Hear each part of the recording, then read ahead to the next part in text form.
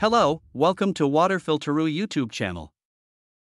Hello everyone, today we're going to talk about a common household appliance that we often take for granted, our refrigerator. Over time, your trusty fridge may start making some unusual noises, and it's essential to understand when these sounds are normal and when they could be a sign of trouble. Why is my fridge making noises? Let's begin by understanding why your fridge might be making these sounds. Not all fridge noises are created equal. Some are harmless, while others could be a cry for help. For instance, a sizzling sound you hear is simply the water dripping into the defrost heater, which is completely normal. On the other hand, a grinding or scraping noise might mean something is obstructing the internal fans, which could lead to problems down the line. There are also other noises, like buzzing, rattling, or humming, each of which can signal different issues. What fridge noises are normal? Now that we've identified some abnormal sounds, let's talk about the sounds you don't need to worry about. Your fridge will typically emit a low humming noise, especially when it's running.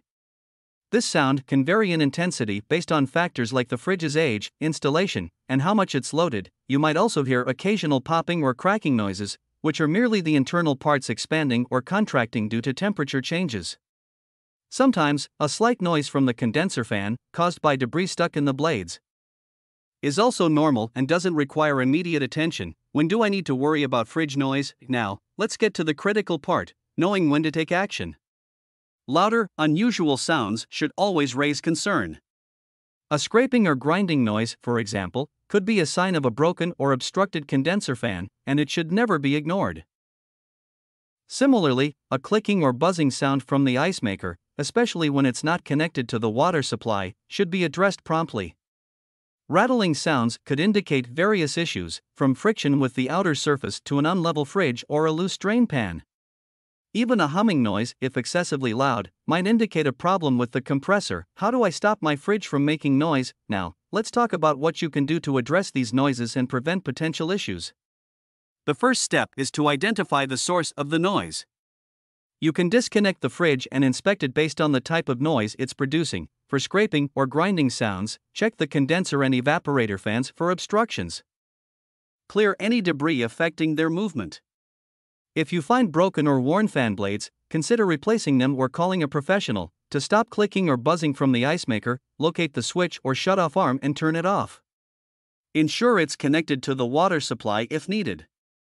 For rattling sounds, check the fridge's positioning and adjust its level if necessary.